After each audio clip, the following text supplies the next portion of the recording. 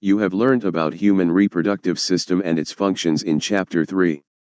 Now, let's discuss a closely related topic, reproductive health. What do we understand by this term? The term simply refers to healthy reproductive organs with normal functions. However, it has a broader perspective and includes the emotional and social aspects of reproduction also. According to the World Health Organization, WHO, reproductive health means a total well-being in all aspects of reproduction, i.e., physical, emotional, behavioral and social.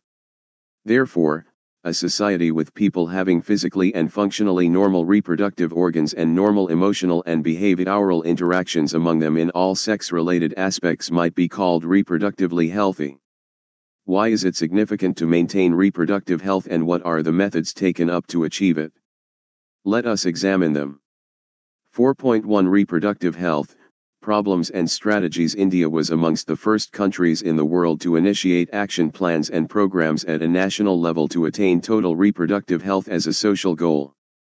These programs called family planning were initiated in 1951 and were periodically assessed over the past decades. Improved programs covering wider chapter Reproduction related areas are currently in operation under the popular name Reproductive and Child Health Care, RCH, programs. Creating awareness among people about various reproduction related aspects and providing facilities and support for building up a reproductively healthy society are the major tasks under these programs. With the help of audiovisual and the print media governmental and non-governmental agencies have taken various steps to create awareness among the people about reproduction related aspects. Parents, other close relatives, teachers, and friends, also have a major role in the dissemination of the above information. Introduction of sex education in schools should also be encouraged to provide right information to the young so as to discourage children from believing in myths and having misconceptions about sex related aspects. Proper information about reproductive organs, adolescence, and related changes, safe and hygienic sexual practices, sexually transmitted diseases, STD, AIDS, etc., would help people, especially those in the adolescent age group to lead a reproductively healthy life. Educating people, especially fertile couples and those in marriageable age group, about available birth control options, care of pregnant mothers, postnatal care of the mother and child, importance of breastfeeding, equal opportunities for the male and the female child, etc., would address the importance of bringing up socially conscious healthy families of desired size. Awareness of problems due to uncontrolled population growth, social evils like sex abuse and sex-related crimes, etc., need to be created to enable people to think and take up necessary steps to prevent them and thereby build up a socially responsible and healthy society. Successful implementation of various action plans to attain reproductive health requires strong infrastructural facilities, professional expertise, and material support. These are essential to provide medical assistance and care to people in reproduction related problems like pregnancy, delivery, STDs, abortions, contraception, menstrual problems, infertility, etc. Implementation of better techniques and new strategies from time to time are also required to provide more efficient care and assistance to people. Statutory ban on amniocentesis for sex determination to legally check increasing menace of female feticides, massive child immunization, etc., are some programs that merit mention in this connection. In amniocentesis some of the amniotic fluid of the developing foetus is taken to analyze the fetal cells and dissolved substances. This procedure is used to test for the presence of certain genetic disorders such as Down syndrome, hemophilia, sickle cell anemia, etc., determine the survivability of the foetus. Research on various reproduction-related areas are encouraged and supported by governmental and non-governmental agencies to find out new methods and slash or to improve upon the existing ones. Do you know that Saheli, a new oral contraceptive for the females, was developed 29 by scientists at Central Drug Research Institute, CDRI, in Lucknow, India.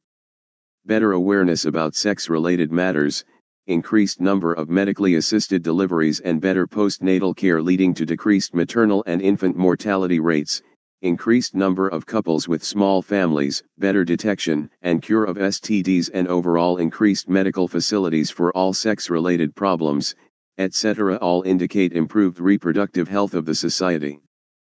4.2 Population stabilization and birth control in the last century and all-round development in various fields significantly improved the quality of life of the people. However, increased health facilities along with better living conditions had an explosive impact on the growth of population. The world population which was around 2 billion, 2000 million, in 1900 rocketed to about 6 billion by 2000 and 7.2 billion in 2011. A similar trend was observed in India too. Our population which was approximately 350 million at the time of our independence reached close to the billion mark by 2000 and crossed 1.2 billion in May 2011. A rapid decline in death rate, maternal mortality rate, MMR, and infant mortality rate, IMR, as well as an increase in number of people in reproducible age are probable reasons for this.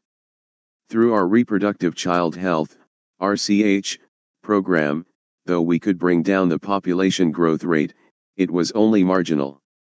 According to the 2011 census report, the population growth rate was less than 2% or i.e., 20 1000 year, a rate at which our population could increase rapidly. Such an alarming growth rate could lead to an absolute scarcity of even the basic requirements, i.e., food, shelter, and clothing, in spite of significant progress made in those areas. Therefore, the government was forced to take up serious measures to check this population growth rate. The most important step to overcome this problem is to motivate smaller families by using various contraceptive methods. You might have seen advertisements in the media as well as posters slash bills, etc., showing a happy couple with two children with the slogan Hum do hamare do, we too, are too. Many couples, mostly the young, urban, working ones have even adopted an one-child norm. Statutory raising of marriageable age of the female to 18 years and that of males to 21 years, and incentives given to couples with small families are two of the other measures taken to tackle this problem. Let us describe some of the commonly used contraceptive methods, which help prevent unwanted pregnancies. An ideal contraceptive should be user-friendly, easily available, effective, and reversible with no or least side effects. It also should in no way interfere with the sexual drive, desire, and slash or the sexual act of the user. A wide range of contraceptive methods are presently available which could be broadly grouped into the following categories. Biology Figure 4.2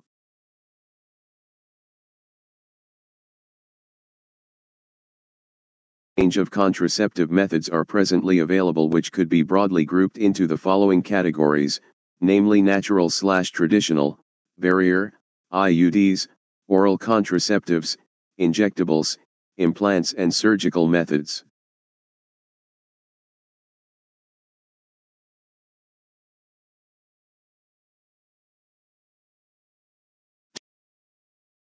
Biology Figure 4.2 Copper T, cut, natural methods work on the principle of avoiding chances of ovum and sperms meeting. Periodic abstinence is one such method in which the couples avoid or abstain from coitus from day 10 to 17 of the menstrual cycle when ovulation could be expected. As chances of fertilization are very high during this period, it is called the fertile period. Therefore, by abstaining from coitus during this period, conception could be prevented. Withdrawal or coitus interruptus is another method in which the male partner withdraws his penis from the vagina just before ejaculation so as to avoid insemination. Lactational amenorrhea, absence of menstruation, method is based on the fact that ovulation and therefore the cycle do not occur during the period of intense lactation following parturition. Therefore, as long as the mother breastfeeds the child fully, chances of conception are almost nil.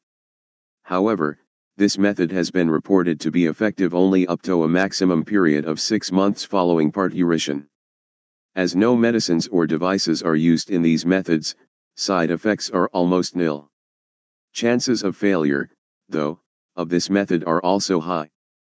In barrier methods, ovum and sperms are prevented from physically meeting with the help of barriers. Such methods are available for both males and females. Condoms, figure 4.1a, b, are barriers made of thin rubber slash latex sheath that are used to cover the penis in the male or vagina and cervix in the female, just before coitus so that the ejaculated semen would not enter into the female reproductive tract. This can prevent conception. Nirodh is a popular brand of condom for the male. Use of condoms has increased in recent years due to its additional benefit of protecting the user from contracting STIs and AIDS. Both the male and the female condoms are disposable, can be self-inserted and thereby gives privacy to the user.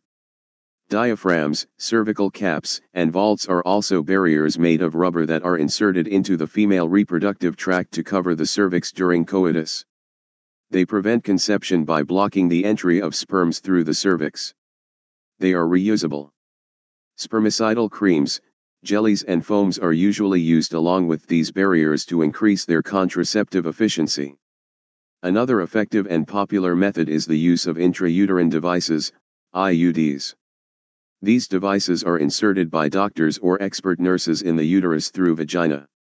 These intrauterine devices are presently available as the non-medicated IUDs, e.g., Lippes loop, copper-releasing IUDs, CUT, CU7, multi-load 375, and the hormone-releasing IUDs, Progestasert, LNG20, figure 4.2. IUDs increase phagocytosis of sperms within the uterus and the Cu ions release suppress sperm motility and the fertilizing capacity of sperms. The hormone-releasing IUDs, in addition,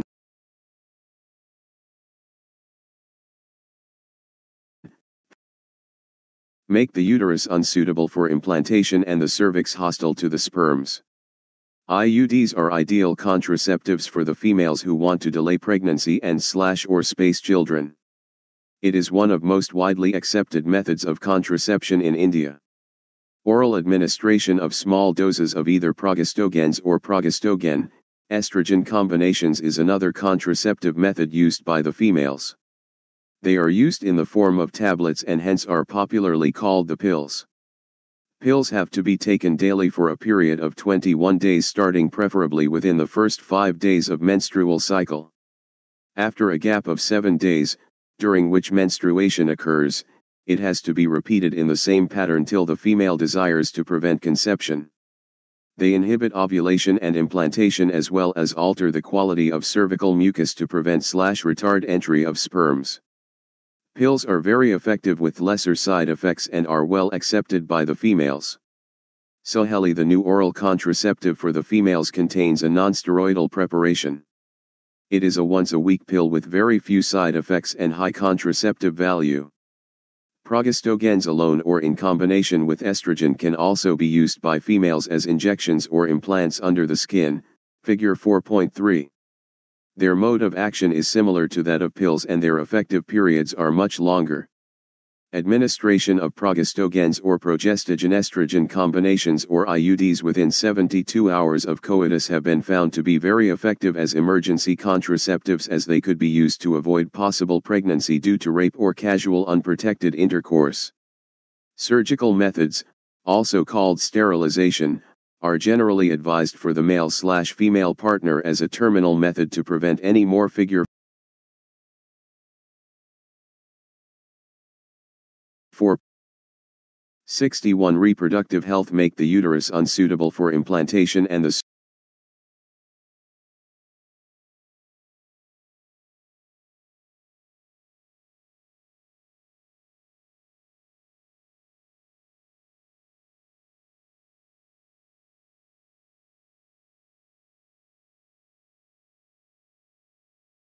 cervix, pregnancies. Surgical intervention blocks gamete transport and thereby prevent conception. Sterilization procedure in the male is called vasectomy and that in the female, tubectomy. In vasectomy, a small part of the vas deferens is removed or tied up through a small incision on the scrotum, figure 4.4a, whereas in tubectomy, a small part of the fallopian tube is removed, figure 4.4b, or tied up through a small incision in the abdomen or through vagina. These techniques are highly effective but their reversibility is very poor. It needs to be emphasized that the selection of a suitable contraceptive method and its use should always be undertaken in consultation with qualified medical professionals. One must also remember that contraceptives are not regular requirements for the maintenance of reproductive health. In fact, they are practiced against a natural reproductive event, i.e., conception slash pregnancy. One is forced to use these methods either to prevent pregnancy or to delay or space pregnancy due to personal reasons. No doubt, the widespread use of these methods have a significant role in checking uncontrolled growth of population. However, their possible ill effects like nausea, abdominal pain, breakthrough bleeding, irregular menstrual bleeding or even breast cancer, though not very significant, should not be totally ignored. 4.3 Medical termination of pregnancy, MTP, intentional or voluntary termination of pregnancy before full term is called medical termination of pregnancy, MTP, or induced abortion. Nearly 45 to 50 million MTPs are performed in a year all over the world which accounts to one-fifth of the total number of conceived pregnancies in a year. Whether to accept slash legalize MTP or not is being debated upon in many countries due to emotional, ethical, religious, and social issues involved in it. Government of India legalized MTP in 1971 with some strict conditions to avoid its misuse. Such restrictions are all the more important to check indiscriminate and illegal female feticides which are reported to be high in India. Why MTP? Obviously the answer is, to get rid of unwanted pregnancies either due to casual unprotected intercourse or failure of the contraceptive used during coitus or rapes. MTPs are also essential in certain cases where continuation of the pregnancy could be harmful or even fatal either to the mother or to the foetus or both. MTPs are considered relatively safe during the first trimester, i.e., up to 12 weeks of pregnancy. Second trimester abortions are much more riskier. One disturbing trend observed is that a majority of the MTPs are performed illegally by unqualified quacks which are not only unsafe but could be fatal too. Another dangerous trend is the misuse of amniocentesis to determine the sex of the unborn child. Frequently, if the foetus is found to be female, it is followed by MTP. This is totally against what is legal.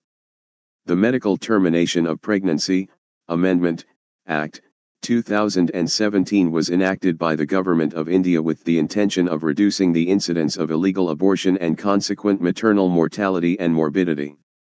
According to this act, a pregnancy may be terminated on certain considered grounds within the first 12 weeks of pregnancy on the opinion of one registered medical practitioner. If the pregnancy has lasted more than 12 weeks, but fewer than 24 weeks, two registered medical practitioners must be of the opinion, formed in good faith, that the required ground exist.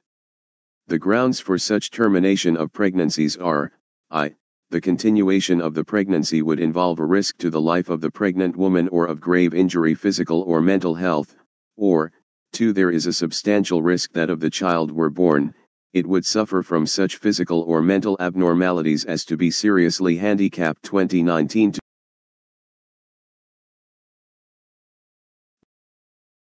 Such practices should be avoided because these are dangerous both for the young mother and the foetus.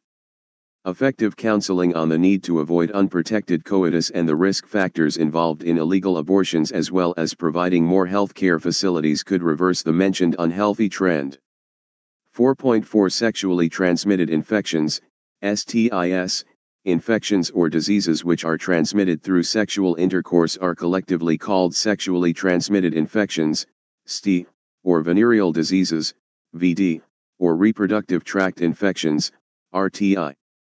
Gonorrhea, syphilis, genital herpes, chlamydiasis, genital warts, trichomoniasis, hepatitis B and of course, the most discussed infection in the recent years, HIV leading to AIDS are some of the common STIs. Among these, HIV infection is most dangerous and is discussed in detail in Chapter 8. Some of these infections like hepatitis, B and HIV can also be transmitted by sharing of injection needles, surgical instruments, etc., with infected persons, transfusion of blood, or from an infected mother to the foetus too. Except for hepatitis B, genital herpes and HIV infections, other diseases are completely curable if detected early and treated properly. Early symptoms of most of these are minor and include itching, fluid discharge, slight pain, swellings, etc., in the genital region. Infected females may often be asymptomatic and hence, may remain undetected for long. Absence or less significant symptoms in the early stages of infection and the social stigma attached to the STIs, deter the infected persons from going for timely detection and proper treatment. This could lead to complications later, which include pelvic inflammatory diseases, PID, abortions, stillbirths, ectopic pregnancies, infertility, or even cancer of the reproductive tract. STIs are a major threat to a healthy society. Therefore, prevention or early detection and cure of these diseases are given prime consideration under the reproductive health care programs. Though all persons are vulnerable to these infections, their incidences are reported to be very high among persons in the age group of 15 to 24 years, the age group to which you also belong. There is no reason to panic because prevention is possible. One could be free of these infections by following the simple principles given below. I. Avoid sex with unknown partners slash multiple partners. 2. Always try to use condoms during coitus. 3. In case of doubt, one should go to a qualified doctor for early detection and get complete treatment if diagnosed with infection. 4.5 Infertility A discussion on reproductive health is incomplete without a mention of infertility. A large number of couples all over the world including India are infertile, i.e., they are unable to produce children in spite of unprotected 2019 Biology Sexual cohabitation.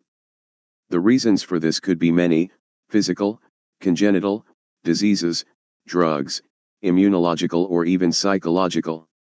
In India, often the female is blamed for the couple being childless, but more often than not, the problem lies in the male partner. Specialized healthcare units, infertility clinics, etc., could help in diagnosis and corrective treatment of some of these disorders and enable these couples to have children. However, where such corrections are not possible, the couples could be assisted to have children through certain special techniques commonly known as assisted reproductive technologies, ART.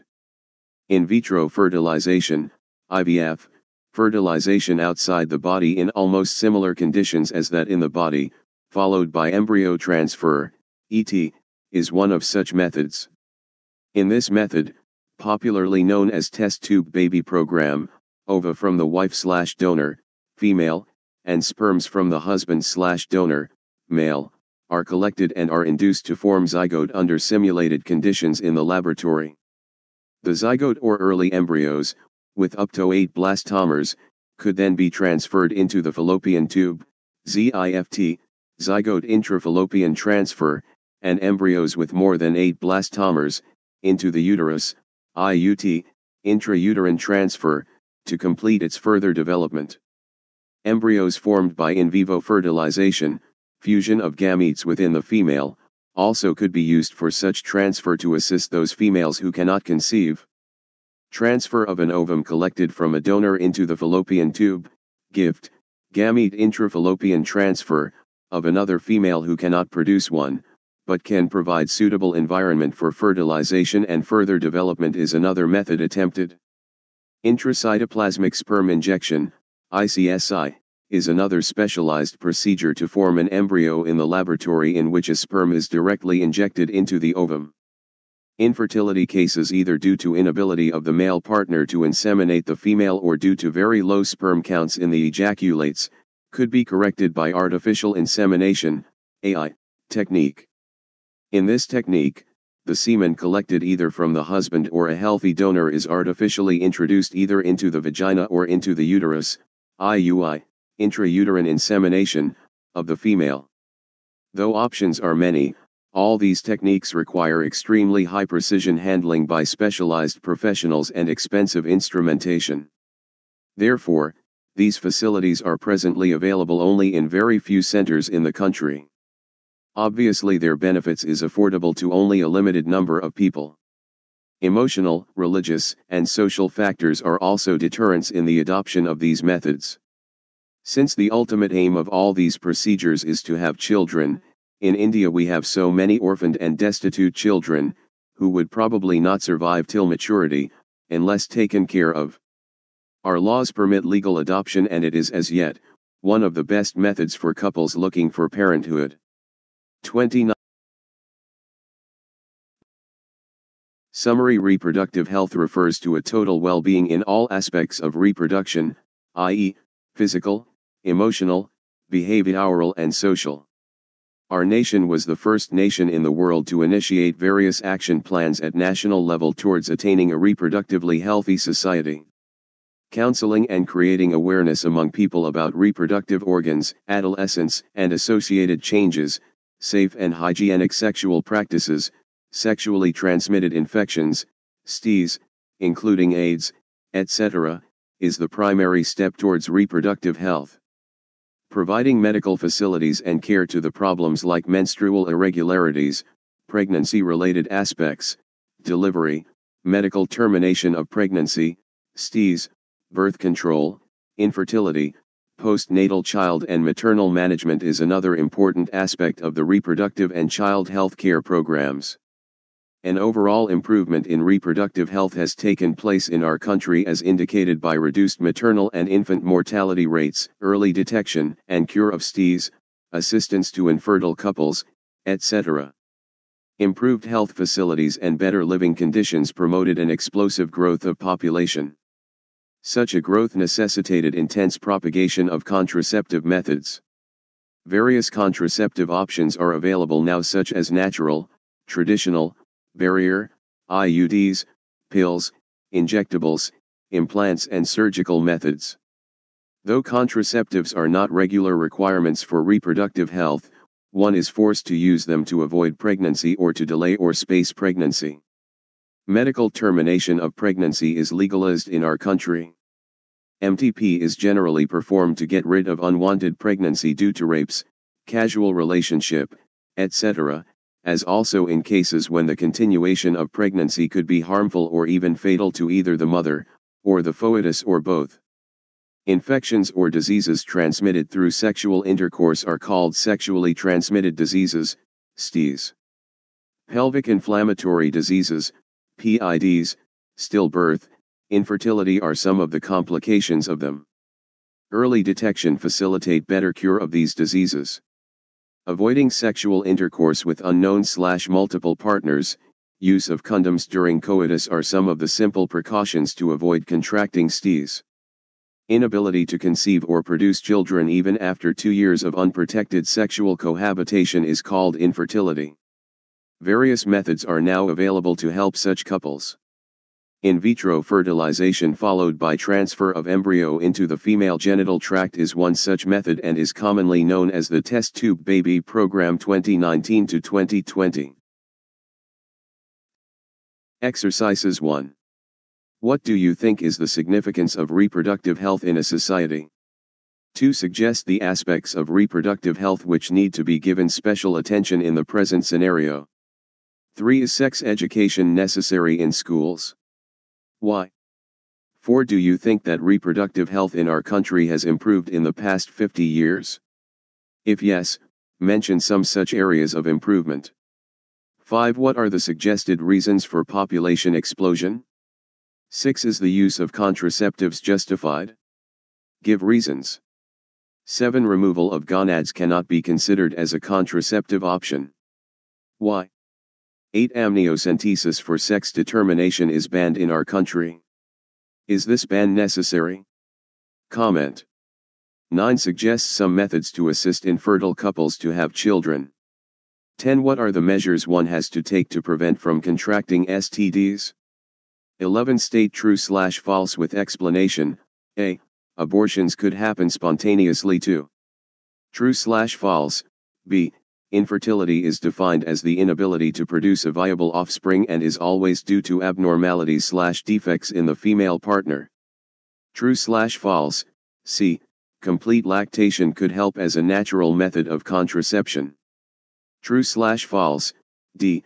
Creating awareness about sex-related aspects is an effective method to improve reproductive health of the people. True slash false, 12. Correct the following statements, a. Surgical methods of contraception prevent gamete formation. B. All sexually transmitted diseases are completely curable. C. Oral pills are very popular contraceptives among the rural women. D. In ET techniques, embryos are always transferred into the uterus. 2019 to 2020.